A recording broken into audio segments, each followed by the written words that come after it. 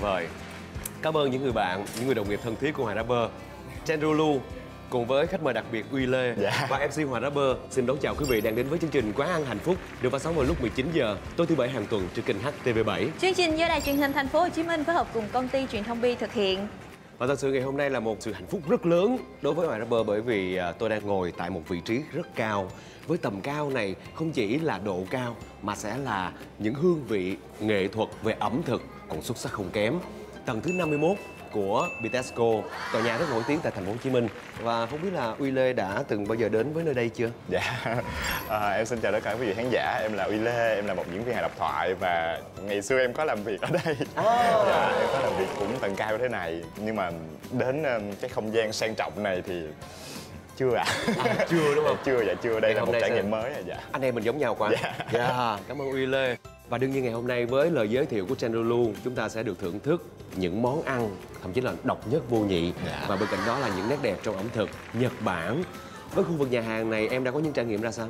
Em đến đây được một lần và lần đó thì em ngồi ở một không gian khác cũng là Dạ. ở tầng 51 này luôn Ừ. một không gian mà có thể nhìn được hướng à, phố đi bộ nè những cái tòa nhà cao tầng chung cư Nguyễn Huệ và hôm nay thì sẽ là ở một cái không gian mình có thể nhìn thẳng ra bến Bạch Đằng Ừ. rất là đẹp đây sẽ là một nơi mà em nghĩ là rất phù hợp để các bạn có thể à, đi hẹn hò Ừ, lãng mạn anh ha Và không chỉ hẹn hò, minh chứng với ánh nhìn của chúng tôi là thấy rất là nhiều ờ, những người bạn thân hay là những người thân trong gia đình cũng đang tề tụ về đây. Đây là một trong những vị trí đắc địa, rất đẹp mắt. Chúng ta ăn không những là ngon miệng mà còn phải ngon mắt nữa. Dạ, Và Uy Lê, bạn đã từng đi lưu diễn cũng như là đi du lịch ở rất là nhiều nước rồi. Dạ. Thì ẩm thực của nước nào khiến cho Uy Lê cảm thấy ấn tượng? thật ra là em vẫn rất là yêu ẩm thực Việt Nam đầu tiên cái đã Ờ. Tại vì đi đâu thì cũng nhớ món Việt Nam hết. Nhưng mà thật ra em cũng rất là thích ăn ờ, món Nhật. Yeah. Ờ, ở đây thì em sẽ rất là hay đi ờ, ra những cái khu phố Nhật á, để em ăn á. Ờ. Ờ, với em thì cái trải nghiệm ờ, ẩm thực Nhật Bản á, em thích là tại vì nó có cái sự đa dạng nhưng mà đồng thời nó vừa phải em Vừa nghĩ là phải. em thích cái sự vừa phải Vừa phải trong gia vị hay trong dinh dưỡng? dạ tất cả luôn à cái gì nó cũng có một cái sự cân bằng Ờ, thì em thích cái sự cân bằng đó Uy Lê là một người rất là giỏi về ngôn ngữ, ngoại ngữ, sáng tạo, rồi à, hài độc thoại, bên cạnh đó là sự kết nối, truyền lửa, truyền cảm hứng cho khán giả nữa. Có bao giờ bạn chọn chủ đề về ẩm thực trong những tác phẩm của mình chưa? thực ra là em nghĩ là em vẫn còn cần phải học rất nhiều á thực sự là em đi ăn với lu là em luôn luôn mở ra rất là nhiều góc nhìn nếu mà em có năm cái nhà hàng mà em hay đi ăn nhất thì chắc là bốn quán là lưu chỉ Ồ vậy hả? À, cho nên là đây rất rất uy tín nè cho nên là em rất tin tưởng dạ Bây giờ không lẽ đây là món khai vị Uy Lê? à, Chai Lulu, nước chấm gì đẹp quá vậy em? anh nghĩ đó là nước chấm ư Chứ đẹp quá à. lần đầu tiên anh mới thấy luôn đó. À, bây giờ anh sẽ dùng để nhúng vào nước đi rồi anh sẽ biết đó là gì. Cái này bỏ vô rồi lấy ra không? Anh cứ để vô đi anh sẽ thấy cái sự nhiệm màu. Nhiệm màu á, hay vậy?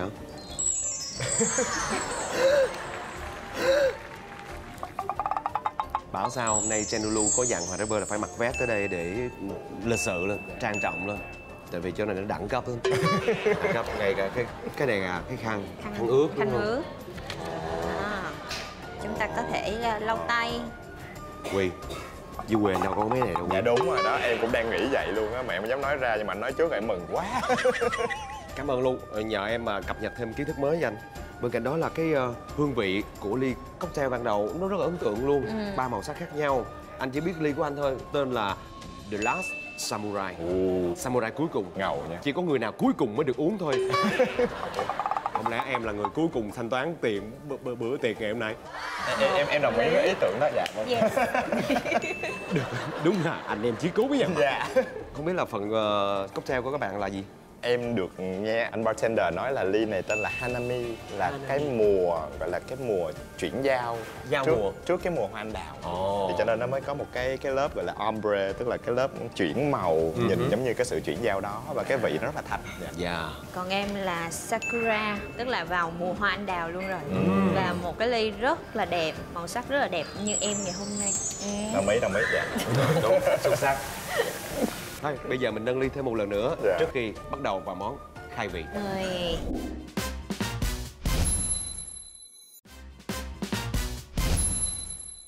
Đây, tên tên món khai vị đầu tiên có tên là Sore Gensai.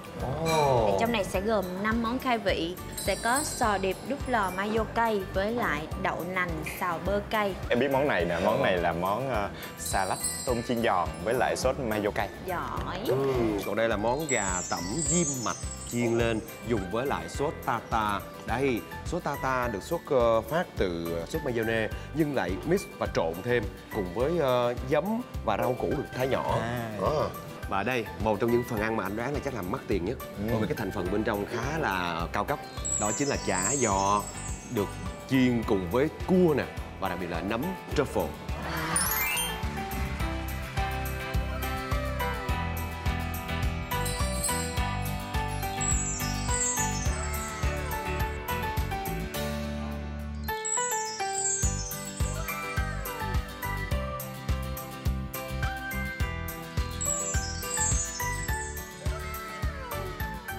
rồi xin mời cả nhà mình cùng dùng thử. Mười xin mời.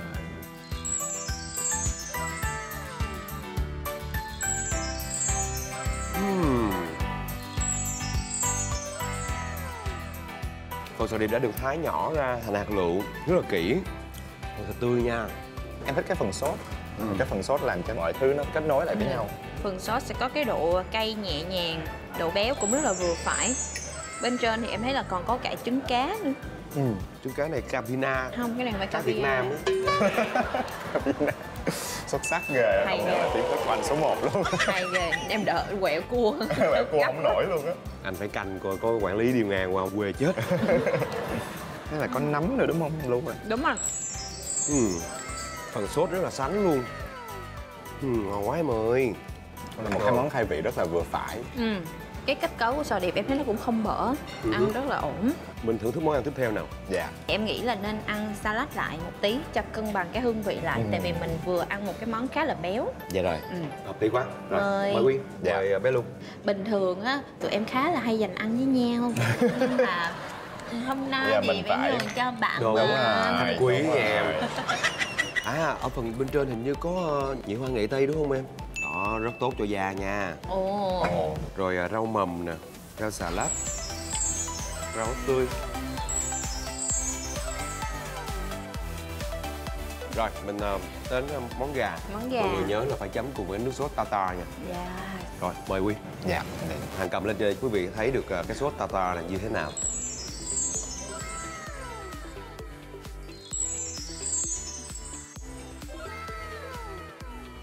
Em thấy nó chua hơn bình thường so với bây Dạ, bình thường đúng không? Nhưng mà cái vị rất là thanh Tại Ừ. vì nó sẽ giảm cái vị béo mà mình ăn từ dầu mỡ ừ. Ừ. Phần nạc gà rất là ngon Hình như là phần này phần đùi nè Có gân gân nữa, rất Ừ. ngon ừ. Hợp lý quá em ơi em thích cái sốt tại vì cái wasabi được xử lý tốt không có bị hăng làm khó chịu Rồi, Rồi. bây giờ thì đây Cái món mắc tiền mà Hồi nãy có nấm triple đây Sao khác gì giờ với ờ, chả giò Việt Nam không? Em thích cái phần nhân là tại vì ờ, em thấy là chả giò mà mình chiên lâu á, thì nhiều khi cái phần nhân sẽ bị khô Nhưng mà Đúng cái rồi. phần nhân nó vẫn có cái độ ẩm và nó vẫn tươi dạ, Cái phần thịt cua rất là tươi Ừ. Ờ, cái này không biết cay không ta? Có thấy anh có ớt ớt nè ừ. Ừ. Ừ. thường mà em ăn đậu nành này á là em chỉ có ăn um, luộc thôi mà Ừ. hôm nay mới được ăn cái xào bơ Đúng rồi, đúng cay rồi. nè khá là lạ. Ừ. Cái vị rất là hay luôn quý vị à Nhưng mà không bị ngán. Ừ. Thơm lắm Cũng không cay lắm. Mà đây chỉ mới là hai vị nhẹ nhàng thôi. Ừ. giờ sẽ đến một món kế tiếp. Ok, lên món đi. Hứa hẹn là Louis sẽ thích. Ok. Lên món. Tò mò quá Với món này thì Uy chưa kịp thích là anh đã thích trước Uy rồi đó. Anh rất thích ăn bò. Nghe Đúng. rồi, Mà trưng bày đẹp quá. Là bò xịn nè, dạ. đây là bò Black Angus. Là bò Nhật hay Black Angus là nuôi ở ờ, Mỹ. Ủa, nuôi vậy ở hả? Mỹ.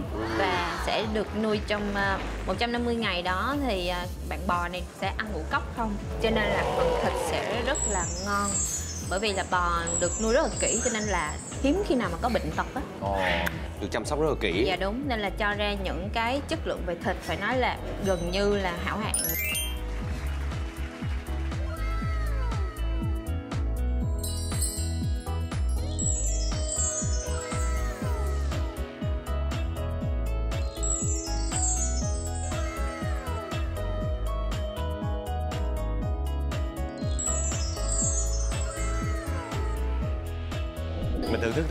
đầu tiên á, thì mọi người sẽ thưởng thức miếng bò nguyên vị nhất Ừ. xong rồi sau đó mọi người có thể chấm kèm chung với lại sốt nha sốt này sốt nấm sốt tiêu hay sốt gì vậy theo em biết tiêu là sốt tiêu Ừ. Và đây là một cái chiếc lò rất là đẹp mắt. Oh yeah. Ừm, Để giữ được bộ độ ấm Ừ. cho miếng thịt bò. Mời em trước thôi Uy. Em Rồi, nguyên vị nào, xin mời. Ừm, rất mềm. Ừm, cắn cái đứt đôi luôn hả? Ừm. Wow, thơm, thịt bò rất là thơm. Nhưng mà với anh thì anh thích ướt át hơn tí. ướt át hơn tí nên mình phải chấm với sốt thôi. dạ. chấm thử với sốt này. Kỳ này Uy Lê thử cho anh cái phần xanh xanh này là gì nè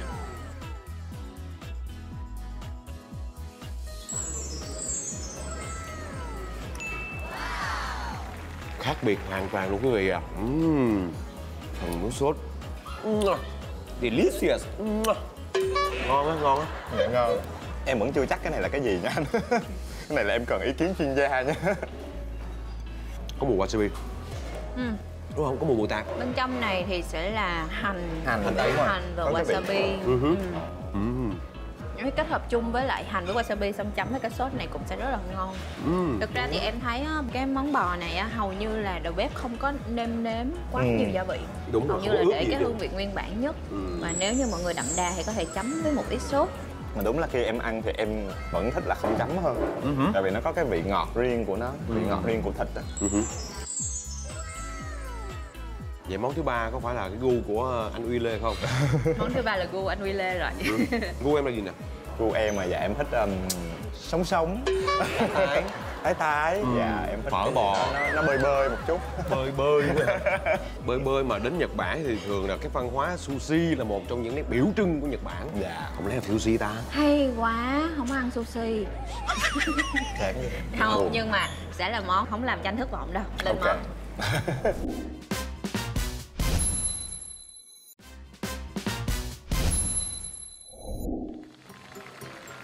mời em Dạ cảm ơn anh.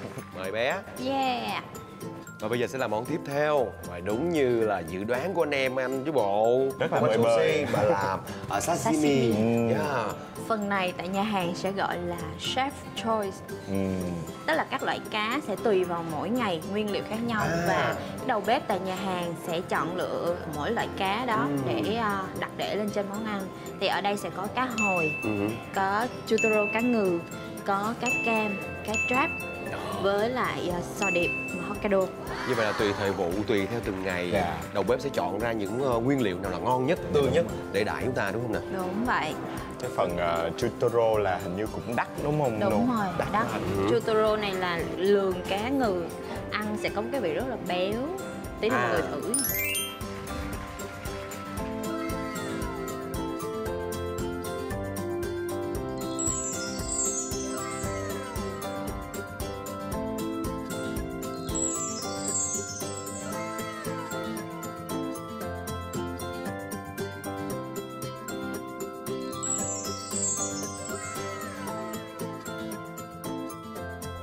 rồi mời cả nhà và đây chúng ta đều có phần nước tương của riêng mình yeah. chắc chắn là sẽ có wasabi Wasabi. Lấy được. wasabi này là tươi nha quý vị mọi người thử wasabi ở đây đi em rất là thích ăn wasabi ở đây Ừ. tại vì là rất là tươi ở bên cạnh đó có gừng nữa nè gừng nhật bản rồi mời cả nhà Wow. Dạ. chúng ta thưởng thức phần cá cam trước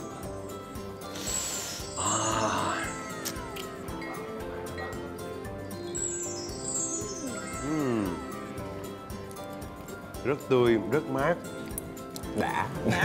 đã đã. phần cá cam cái dẻo dẻo anh cảm thấy nó dẻo Đúng dẻo rồi. luôn á em Dạ đúng rồi. Em nhớ là một đầu bếp mà làm sashimi là người ta phải rèn luyện trong 10 năm mới được đứng bếp. Vậy Tại vì em nhớ là có 3 giai đoạn. Giai đoạn đầu tiên là là chỉ được à, đứng ở sau bếp mà chuẩn bị cơm thôi. Là khoảng 4 5 năm gì đó là Trời. chỉ được làm công đoạn đó và quan sát những người đầu bếp khác làm thôi. Xong rồi tới giai đoạn sau 5 năm là mới được cầm cái dao. vậy luôn đó Còn thực sự mà cái người mà đầu bếp đã được đứng ở quầy mà phục vụ khách trực tiếp rồi á, là 10 năm. Ừm. wow. rồi tiếp theo là sò điệp Hokkaido Này, Hoàng rất là thích wasabi nên phải cho nhiều nhiều Ừ. ngập lên.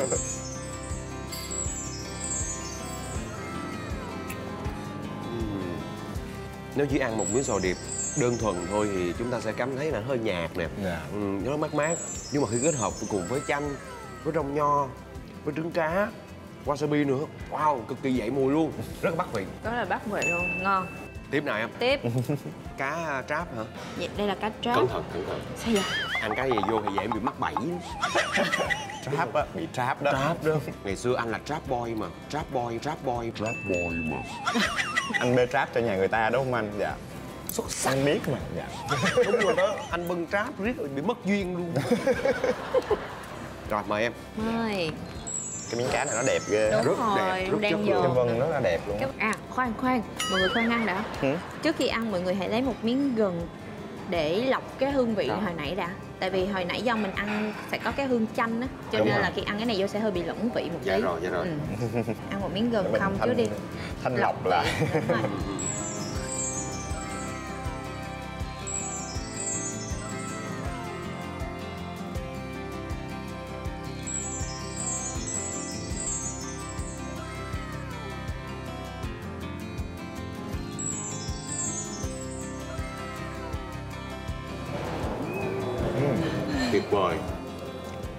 sắc luôn. Dẻo. Béo, toàn Lạ. công đoạn khử mùi làm rất kỹ rất là tốt luôn em ơi. Rồi chúng ta sẽ đến với món cá ngừ. Với phần cá này thì mọi người hãy cho vào miệng và ngậm lại một tí Ừ, Để hả? cảm nhận nha. Ok. Cái màu rất là đẹp. Ừ.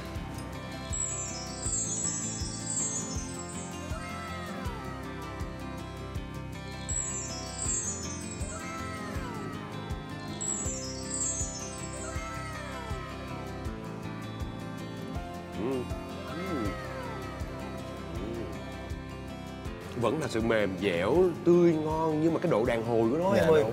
cái độ đàn hồi nó khác biệt hoàn toàn nó hơi dai hơn một tí ừ. nó mà có sẵn một vị mặn đặc trưng nào đó của cá ngừ Với lại em ăn á, em thấy là từng cái thớ được tách ra ở bên trong miệng của em á Không biết mọi người có cảm được Đúng rồi, không? đúng rồi. có có có ừ, ừ, ừ. mà ngon tại Rồi. vì đúng là bình thường mình ăn cá ngừ mà cái phần kia là cái phần akami đúng không Ừ. cái phần phần thịt thịt đỏ Phần thịt thôi. đỏ thì nó sẽ không có cái độ béo như là cái phần này ừ.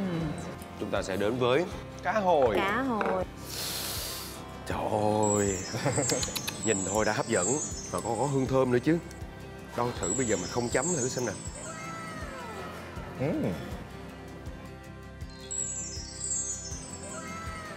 Ừm. vẫn là vị ngon đó nhưng mà mềm hơn. Ừm. không có dai ràng hồi giống như cá ngừ Em thấy là cái phần sốt trong này á, nó không có quá là đậm đà đúng rồi Nó vẫn giữ được cái hương vị cá hồi Và có cái mùi hăng nhẹ từ hành Ừm. ừ. Một ít cái vị mặn từ um, trứng cá hồi Ừm, ừm. Khá là thích Rồi, bây giờ sẽ là món cuối cùng Ồ. Và món này hồi nãy là một món em gọi cho anh Hoàng Bởi vì anh Hoàng thích Một món là anh Uy Thì bây giờ sẽ đến món mà em thích đó ưu tiên người đẹp luôn Lên Mời. món Món cuối cùng. Mà Đây cái này là là món món- cuối cùng của món mặn nha. À, đây là món em thích. Đúng rồi, Mm. món này sẽ có tên là Lobster Truffle Maki. Ừm. maki là như thế nào em? Maki tức là cái củ maki á là cái cục maki á wow một một giải thích rất chi tiết luôn anh là, là, là trong văn hóa ẩm thực Nhật thì sẽ chia ra như sashimi là cá sống, Ừ. sushi thì mọi người biết rồi đúng không? Ừ. Thì là rong biển, Cơm rồi xong rồi cuộn. nigiri thì sẽ là phần cơm cuộn xong rồi để một cái miếng cá sống lên trên. Ờ. Còn cái này sẽ gọi là maki, cuộn lại tức là sẽ cuộn lại là sẽ có phần nhân bên trong xong rồi cuộn với lại phần cơm ở bên ngoài thì gọi là maki.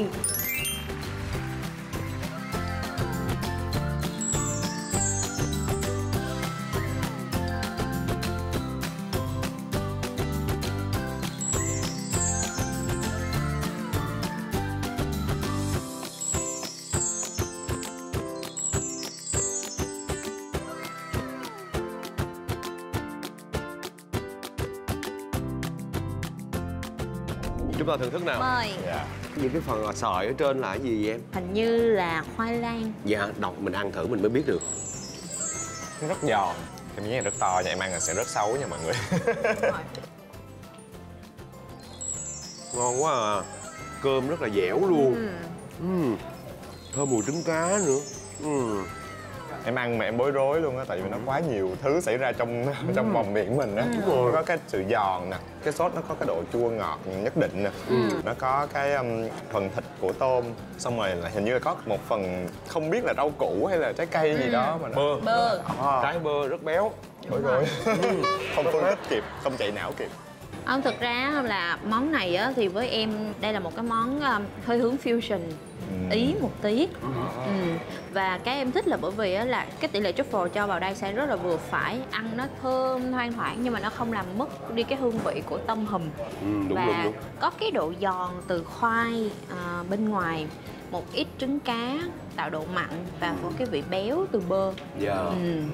em rất là thích ăn cái phần thịt tôm bỏ vào miệng sẽ cảm thấy cái hương khói rất là thơm. Rất là thơm. Uy thấy no chưa dạ no rồi á dạ. Không biết là mình ăn tráng miệng đi. Ồ ok. À, Vẫn tráng miệng nha. Đó vẫn còn. Lên món dạ. Wow tráng miệng thôi mà nhìn cũng rất là đẹp mắt rất là ấn tượng luôn. Đây là món ờ, bánh bí đỏ của anh nè. Có tên tiếng nhật là kabochakeki ồ wow. Nhìn nó rất nhiều thành phần luôn á anh. Rất tò mò luôn và á đặc biệt là có hạt thông nữa nè. Anh thấy lạ anh muốn thử xem là thành phần như thế nào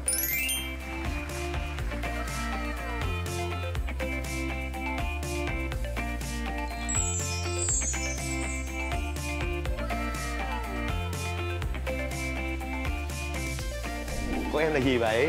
Dạ của em là yogurt panna cotta. Đó là cái bánh panna cotta mà có cái phần da ua ở trong đó. Thì Ừ. em đang tò mò là có cái thành phần gì ở trong nữa không? Tại thấy có cái phần sốt. Ừ. dạ.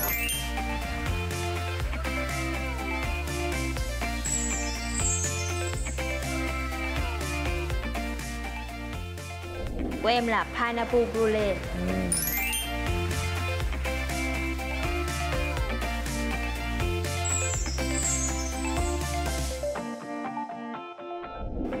mời mọi người dạ Ok. rồi wow nhìn hấp dẫn quá cách bày trí thật là đẹp mắt Ừm. Ừm. wow mát lạnh wow. ừm, như kem nữa Ừm. chua chua ngọt ngọt rất là thơm cái bánh dứa brulee của em rất là béo nha cái phần kết cấu rất là sánh mịn luôn và rất là thơm nhẹ nhẹ cái mùi à, mùi dứa Ừm. Cái bánh này nó có vị rất là lạ em không biết tả làm sao á tại vì cái sốt này nè cái sốt này nó có một cái vị chua chua ngọt ngọt nhưng mà nó có một cái thành phần gì đó mà em không gọi tên được. Ừm. À, nhờ mọi người thử á, mọi người thẩm định giùm em Ừm. rất là lạ. Truffle à. Ừm. hèn chi.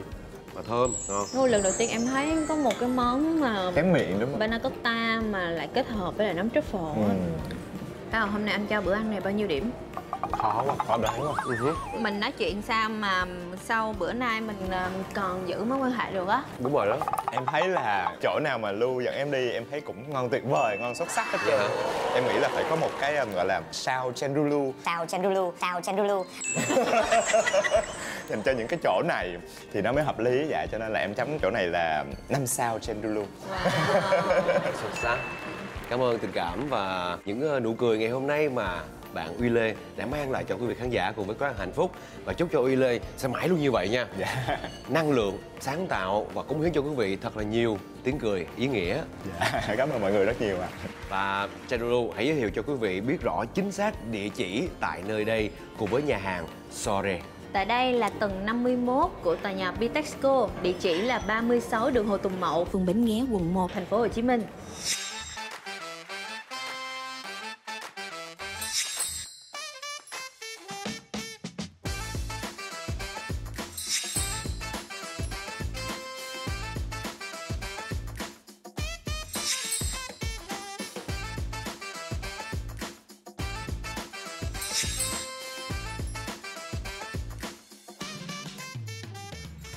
Cảm ơn quý vị đã đồng hành cùng với chúng tôi trong tập phát sóng tuần này. Hãy tiếp tục với lịch hẹn cùng với Quán ăn hạnh phúc vào lúc 19 giờ thứ bảy tuần sau trên kênh HTV7.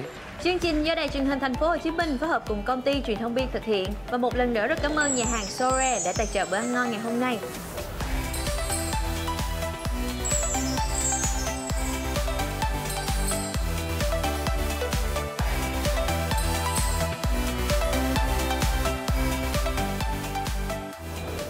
cảm ơn trang thông tin điện tử sao viết.vn đã bảo trợ truyền thông cho chương trình. Và bây giờ chúng tôi xin thân ái chào tạm biệt và hẹn gặp lại.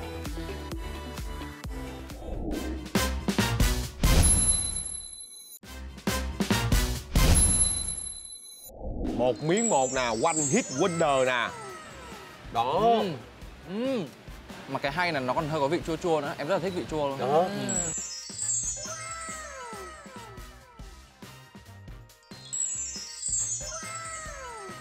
đây mới là bò không chị? Bò gì mà mềm vậy? Lạ ha. Phải bò hả?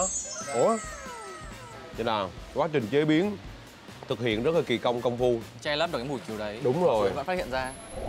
Đón xem Quán ăn hạnh phúc được phát sóng vào tối thứ bảy hàng tuần vào lúc 19 giờ trên kênh HTV7 và 19 giờ 30 trên kênh YouTube Be Food Travel.